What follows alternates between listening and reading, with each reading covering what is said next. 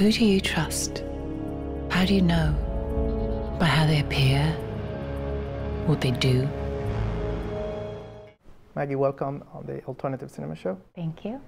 Maggie, your career uh, began in full swing after playing uh, this, in The Secretary. And from there on, your name became kind of synonymous with independent cinema. But then you kind of moved on into the big Hollywood mainstream movies. Uh, and that, I, I think, uh, culminated in playing a major role in one of the biggest blockbusters in Hollywood, Batman. Could you shed light on the experience on or your journey, your professional journey in, in cinema and film?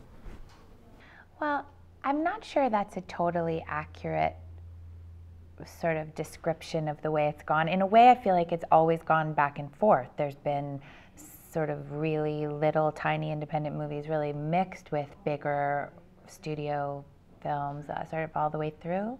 Um, and I try to work in a sort of similar way, despite the size of the project. Although I find it easier to work when I don't stop.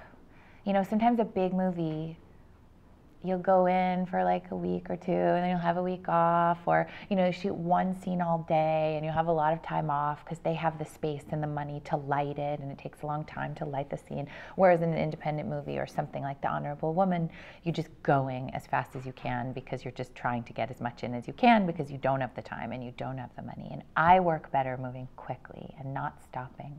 I prefer it. Um, you know, but there's also something nice on a big movie, on, on something like The Dark Knight, where nobody who's the head of a department is just learning their job. Sometimes you work on a tiny movie and people are learning as they're going because that's how it is. On The Dark Knight, everyone was an expert, and that's really lovely too.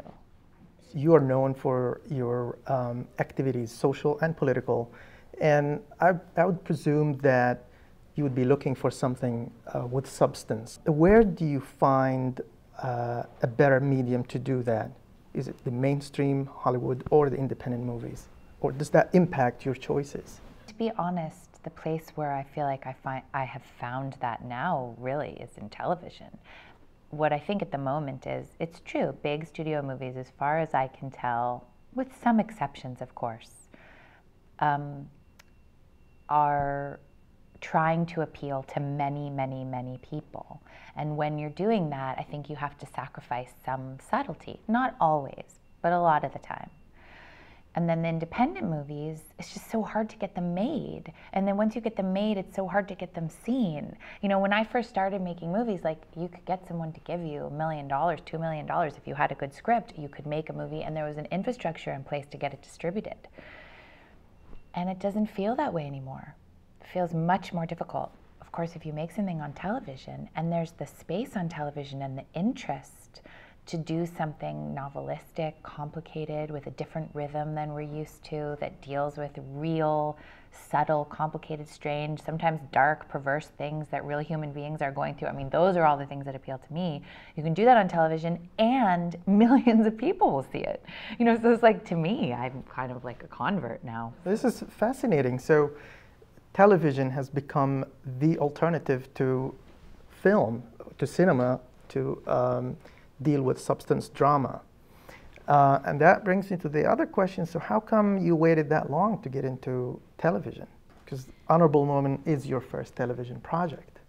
You know, I think I might have had a sense of, oh no, television isn't as good for a while, and I was wrong.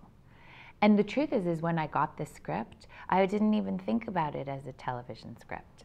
I just thought of it as, um, I just got the script and started reading it, and it was so excellent, and it was so much more exciting to me than what I had been reading in film. So, what attracted you to play the role of Nessa Stein in The Honorable Woman, and why is she honorable? Well, I think the series kind of asks a lot of questions about what that word means, or good. You know, good is a complicated thing. And I think that when the series begins, Nessa thinks being honorable and being good is about being pure, uncompromised. And as it as the series goes on and deepens, um, it gets more and more complicated what it means to her to do good and to be honorable. I think in some ways it should have a question mark at the end. The honorable woman question mark. you know. You are known for your um, activities, social and political. And I recall you are one of the few who daringly stood up after September 11 and and uh, challenged America to question its its position in the world. And I presume you have your opinion about the Middle East conflict.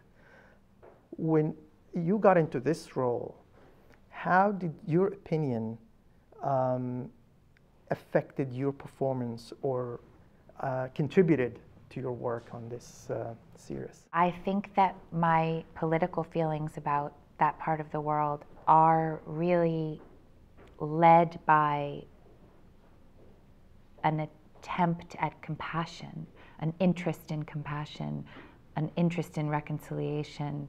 And I think that Nessa has the same interest.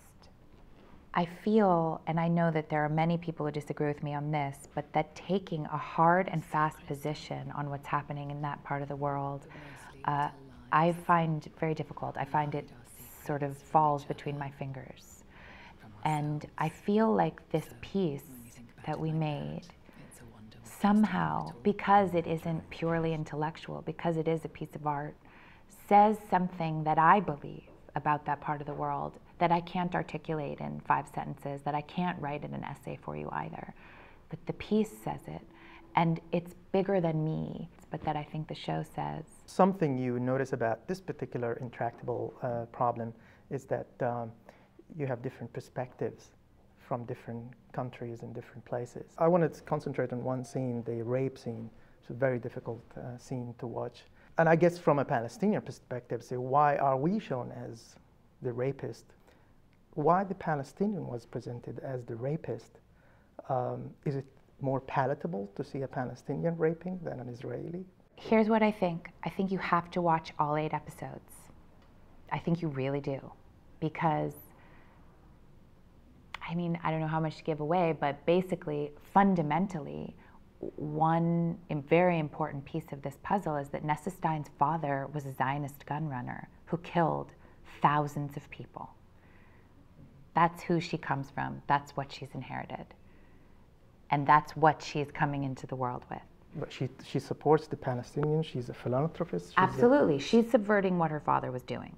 She, she's, she's doing everything she can to promote equality, to um, in the beginning it's it's financial inequality that she's working toward, but also educational and in every way and reconciliation. But you have to watch it all. It does swing, and I think that you have to trust us that our intention is equality and compassion and I mean, I think you have to watch it all. I do. I believe that. Please trust me and watch it all. All right, Maggie, thanks a lot. Okay.